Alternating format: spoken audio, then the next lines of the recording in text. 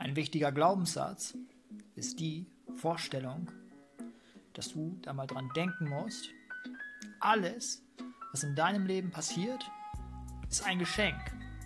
Und manche davon, die sind einfach nur schlecht verpackt.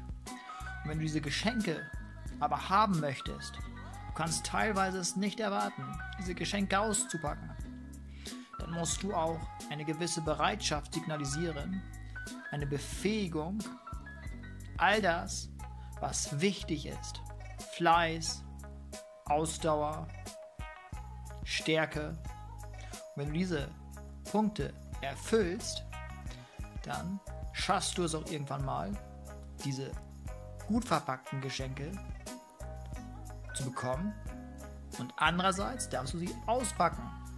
So ist es im ganzen Leben. Viele geben sich aber mit diesen schlecht verpackten Geschenken zufrieden, weil sie entweder nicht bereit sind, da was für zu machen, oder weil sie den einfachen Weg suchen.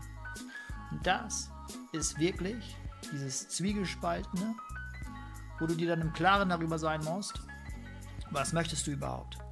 Und erst dann, wenn du so weit bist, dass du das verstanden hast, dann kriegst du genau das, was du haben möchtest.